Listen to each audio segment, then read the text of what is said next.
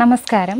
ഇന്നത്തെ നമ്മുടെ വിഭവം ഊട്ടുപുര പുളിങ്കറിയാണ്. ഊട്ടുപുര പുളിങ്കറി എന്ന് പറഞ്ഞാൽ അമ്പലങ്ങളിൽ സദ്യയൊക്കെ ഉണ്ടാവുന്ന സമയത്ത് നമ്മൾ ഊണ് കഴിക്കുമ്പോൾ ഒരു പുളിങ്കറി ഉണ്ടാവും. നല്ല സ്വാദാണ് അത്. അതിങ്ങനെ ചുടുക്കന ചോറിന്റെ കൂടെ നല്ല ചൂടുള്ള പുളിങ്കറിയും കൂട്ടി കഴിക്കുക. അത് കഴിച്ചിട്ടുള്ളവർക്ക് മാത്രമാണ് ആ ഒരു രുചി അറിയുള്ളൂ. എത്ര പറഞ്ഞാലും അറിയില്ല. പക്ഷെ അവിടുന്ന് കിട്ടുന്ന സ്വാദ് നമ്മൾ വീട്ടിലുണ്ടാക്കുമ്പോൾ കിട്ടില്ല കേട്ടോ. അപ്പം അമ്മമാരുണ്ടാക്കി തരുന്ന ഭക്ഷണത്തിന്റെ സ്വാദ് അമ്മ തന്നെ ഉണ്ടാക്കണം. അത് പറയുന്നത് പോലെ തന്നെയാണ് അമ്പലത്തിലെ ഒരു പ്രസാദ കൂട്ടിന് കിട്ടുന്ന ഒരു സ്വാദ് അല്ലെങ്കിൽ കൂടി അതിന്റെ കൂട്ട് എങ്ങനെയാണെന്ന് അറിഞ്ഞാൽ ഒരു വിധം നമുക്ക് ഒപ്പിക്കാൻ വേണ്ടി പറ്റും. അപ്പം ഇന്നത്തെ വിഭവം ഊട്ടുപുര പുളിങ്കറിയാണ്.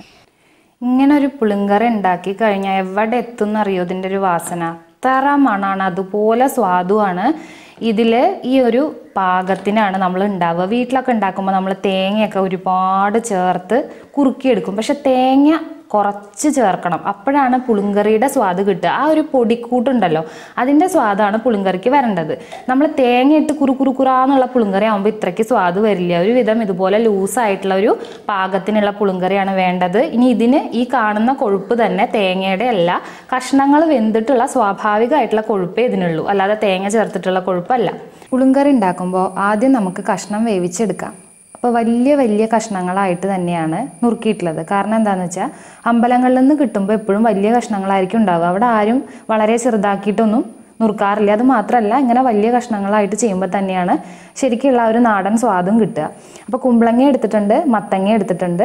ഒരു കപ്പ് മത്തങ്ങയും അര കപ്പ് കുമ്പളങ്ങ എടുത്തിട്ടുള്ളൂ. കുമ്പളങ്ങ കുറച്ച് കുറവേ എടുത്തിട്ടുള്ളൂ. ഇനി ഇത് കുമ്പളങ്ങ തനിയായിട്ടോ മത്തങ്ങ തനിയായിട്ടോ എങ്ങനെ വേണമെങ്കിൽ ചെയ്യാം. ഇതിലേക്ക് നമ്മളൊരു അര ടീസ്പൂൺ അളവിൽ മഞ്ഞൾപ്പൊടിയും ഇതിന് വേണ്ട ഉപ്പും ആവശ്യത്തിനുള്ള ഉപ്പും ചേർത്തിട്ട് കുറച്ച് വെള്ളം ഒഴിച്ച് പ്രഷർ കുക്കറിൽ നമ്മൾ വേവിച്ചെടുക്കുകയാണ്. കുക്കറിലാവുമ്പോൾ ഒരു വിസിലടിച്ചാൽ മതിയാവും. ഏകദേശം ഒരു അര ഗ്ലാസ് വെള്ളം ഒഴിച്ചിട്ട് കുക്കറിൽ ഒരു വിസിൽ വേവിച്ച് വെക്കുക. അതാണ് ആദ്യത്തെ പണി.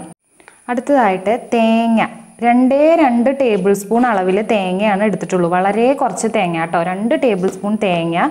ഇത് വെള്ളം മാത്രം കുറച്ച് വെള്ളം ഒഴിച്ചിട്ട് ഒന്ന് അരച്ചെടുക്കണം. അപ്പോൾ അരയ്ക്കുമ്പോഴും നമ്മൾ മുളക് ചേർക്കണില്ല. കഷ്ണം വേവിച്ചപ്പോഴും മുളക് നമ്മൾ തൊടിയിച്ചിട്ടില്ല. അത് എപ്പോഴാണ് ചേർക്കണേന്നുള്ളത് പറയാം. അടുത്തതായിട്ട് നമുക്ക് വറുത്ത് പൊടിച്ചെടുക്കാനുള്ളതാണ്.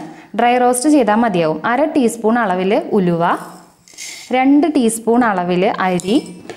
രണ്ട് ടീസ്പൂൺ അളവിൽ മല്ലി. അപ്പം മല്ലിയുടെ അളവ് കൂടരുത്. രണ്ട് ടീസ്പൂൺ തന്നെ മതിയാവും. ഇല്ലെങ്കിൽ നമുക്കൊരു സാമ്പാറിന്റെ സ്വാദാണ് വരിക.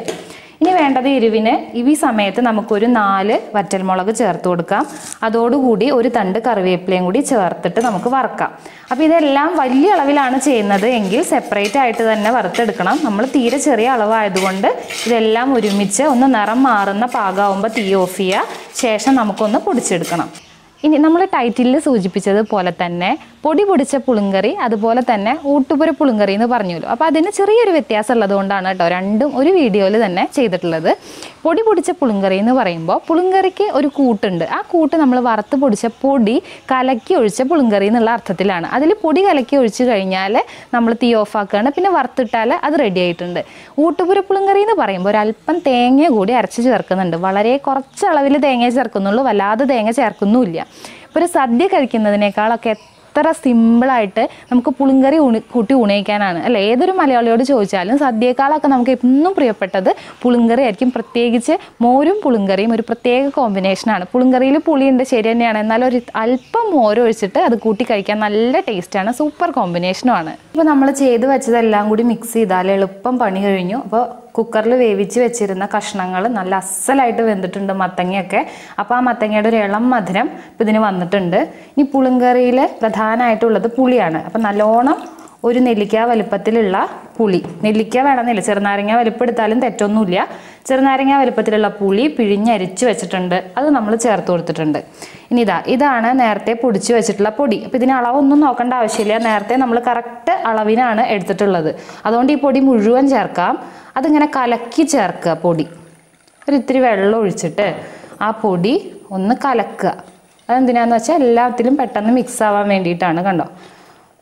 അപ്പോൾ പുളി പിഴിഞ്ഞും ചേർത്തു. നമ്മൾ ഈ പൊടി ഇതാ കലക്കി ഒഴിക്കുകയും ചെയ്തിട്ടുണ്ട്. ഒന്ന് തിളച്ചാൽ മാത്രം മതി ഇനി. അപ്പോൾ നമ്മൾ ആ അരിയും മുളകും ഉലുവയും കറിവേപ്പിലയും ഒക്കെ കൂടി വറുത്ത് ഉള്ള പൊടി ചേർത്തപ്പോൾ എന്താ മണം? അതായത് നമ്മൾ അരി കൂട്ടി വറുക്കുക. അതാണ് ഈ പുളിങ്കറിയിലെ പ്രത്യേകത. മല്ലി ഞാൻ പറഞ്ഞല്ലോ ഒരു നിശ്ചിത അളവിന് മല്ലി എടുത്തിട്ടുള്ളൂ. അപ്പോൾ സാമ്പാറിന്റെ സ്വാദമൊന്നും അല്ല വരണത്. പിന്നെ ആ ഉലുവയുടെയും. അസൽ മണമാണ് വരണത്. അപ്പോൾ ഒരു ഇത്തിരി ഉപ്പ് കുറവുണ്ട്. നേരത്തെ നമ്മൾ വേവിക്കാൻ ഇട്ടപ്പോൾ ഉപ്പ് ഇത്തിരി കുറഞ്ഞിട്ടുണ്ട്. അപ്പോൾ അതുകൊണ്ട് ഈ സമയത്ത് അല്പം ഉപ്പും കൂടി ചേർത്ത് കൊടുത്തു. തള വന്നതിന് ശേഷം അവസാനമായിട്ട് നമ്മൾ എടുത്തു വച്ചിട്ടുള്ള അരപ്പ്. രണ്ട് ടേബിൾ സ്പൂൺ നാളികേരം അരച്ചു വെച്ചിട്ടുണ്ടായിരുന്നു. ആരപ്പും കൂടി ചേർത്തു. ഇതാ അസൽ പുളിങ്കറി. ഇതാണ് ശരിക്കുള്ള നാടൻ പുളിങ്കറി. പൊടി പൊടിച്ച പുളിങ്കറി അല്ലെങ്കിൽ പൊടി കലക്കിയ പുളിങ്കറിക്ക് പൊടി കലക്കി ഒഴിക്കുക. അതിൽ നമ്മൾ മുളകും ചേർത്തിട്ടുണ്ട് നാലെണ്ണം. അത് ഇതിന് പാകത്തിനുള്ള എരിവുണ്ട്. അപ്പം നമ്മൾ പുളിങ്കറി ചില ഇതിലൊക്കെ ചാനൽസിലോ അല്ലെങ്കിൽ ഫോട്ടോസിലൊക്കെ കാണുമ്പോൾ നല്ല ചുമന്നിരിക്കും. അതിന്റെ കാരണം വേറൊന്നുമല്ല. അതാ ഈ സമയത്ത് ഇതുപോലെ ഒരു അര ടീസ്പൂൺ അളവിൽ മുളക് പൊടിയും കൂടി ചേർത്ത് കൊടുക്കുമ്പോഴാണ് ആ ഒരു നിറം മാറി വരണത്. അതിന്റെ ആവശ്യമൊന്നുമില്ല കേട്ടോ. നമുക്കിപ്പോൾ അധികം എരിവ് വേണ്ടാന്നുണ്ടെങ്കിൽ നേരത്തെ ചേർത്തിട്ടുള്ള ആ ഒരു നാല് വറ്റൽമുളക് തന്നെ ധാരാളമാണ്. അപ്പോൾ കളറിന് വേണ്ടി ഒരു അല്പം ഞാൻ ചേർത്തിട്ടുണ്ട്. അതും കൂടി ഒന്ന് തിളച്ച് കഴിഞ്ഞാൽ ഇതാ ഇതുപോലെ നല്ലോണം ഒരു പിടി കറിവേപ്പില ഇട്ട് കൊടുക്കുക. തിളച്ച് കഴിഞ്ഞാൽ നമുക്ക് ഓഫാക്കാം. പിന്നെ ഇതിലേക്കുള്ള വറവാണ്. വറുത്തിടേണ്ടത് ആ സമയത്ത് പറയാം കേട്ടോ. ഇനി നമ്മൾ വറുത്തിട്ടിട്ടുണ്ട്. കടുകും മുളകുമാണ് വറുത്തിട്ടിട്ടുള്ളത്. ഇനി നമ്മൾ ഈ ഒരു പുളിങ്കറി പ്രത്യേകിച്ച് അമ്പലത്തിൽ നിന്ന് കിട്ടുന്ന ഈ ഒരു പുളിങ്കറിയൊക്കെ ചെയ്യണ സമയത്ത് അവർ ഒരിത്തിരി ശർക്കര ഇടും. പക്ഷേ ഇവിടെ ഇടാത്തത് എന്താന്ന് പറഞ്ഞാൽ ഓൾറെഡി മത്തങ്ങയാണ്. അപ്പോൾ ഒരിളം മധുരം ഉണ്ടാവും. മത്തങ്ങ അല്ലാത്ത കഷ്ണങ്ങൾ ഉപയോഗിച്ചാണ് ചെയ്യണേന്നുണ്ടെങ്കിൽ ഒരിത്തിരി ശർക്കര ഇട്ടോളൂ. നല്ല അസലായിരിക്കും. ഇനി ഇത് ചൂടാറിയതിന് ശേഷം നന്നായിട്ട് തണുത്തതിന് ശേഷം പുളിങ്കറിക്ക് പുളിങ്കറിയുടേതായിട്ടുള്ള സ്വാദ് വരണമെങ്കിൽ ഒരു ഇത്തിരി ഉലുവാപ്പൊടിയും കൂടി ചേർത്ത് കൊടുക്കണം. ഉലുവ വറുത്ത് പൊടിച്ചിട്ടുള്ള പൊടി. അപ്പോൾ ഇതിപ്പോൾ കൽച്ചട്ടി ആയതുകൊണ്ട് ചൂടാറാൻ കുറച്ച് സമയം പിടിക്കും. അപ്പോൾ ഞാനിപ്പോൾ അത് തണുത്തിട്ടേ ചേർക്കണുള്ളൂ. നിങ്ങൾ തണുത്തതിന് ശേഷം ഉലുവാപ്പൊടി ഇടാനായിട്ട് മറക്കരുത്. അതാണ് അതിന്റെ ഒരു നാടൻ സ്വാദ് വരിക. വളരെ സ്വാദിഷ്ടമായിട്ടുള്ള പുളുങ്കറിയാണ്. അപ്പോൾ ഇത് ലൂസാക്കണം എന്ന് എപ്പോഴും ലൂസായിട്ടിരിക്കണം. ഇങ്ങനെ കുറുകുറാന്നിരിക്കണേക്കാളും. അപ്പോൾ അതിനനുസരിച്ചിട്ടുള്ള വെള്ളം ഇടയിലൊന്ന് ചേർത്ത് കൊടുക്കണം. ആവശ്യത്തിനനുസരിച്ചിട്ട്. പിന്നെ എനിക്ക് ഈ ഒരു നുള്ളു ഉലുവാപ്പൊടി ചേർക്കാതെ നിർത്തി പോവാനായിട്ട് മനസ്സ് വരണില്ല. കാരണം ഇതാണ് ഇതിന്റെ ഒരു പ്രധാനപ്പെട്ട ഭാഗം. ഈ ഉലുവപ്പൊടി ഒരു നുള്ള അവസാനം ചേർക്കുമ്പോഴാണ് ശരിയായിട്ടുള്ള പുളിങ്കറിയുടെ സ്വാദ് വരിക. തീർച്ചയായിട്ടും എല്ലാവരും ഉണ്ടാക്കി നോക്കുക. വളരെ എളുപ്പമല്ലേ? ഉണ്ടാക്കി അത് കഴിച്ച് നോക്കിയിട്ട് കമൻസിൽ അറിയിക്കണം. അപ്പോൾ എന്തായാലും പുതിയൊരു വിഭവമായിട്ട് വീണ്ടും കാണാം.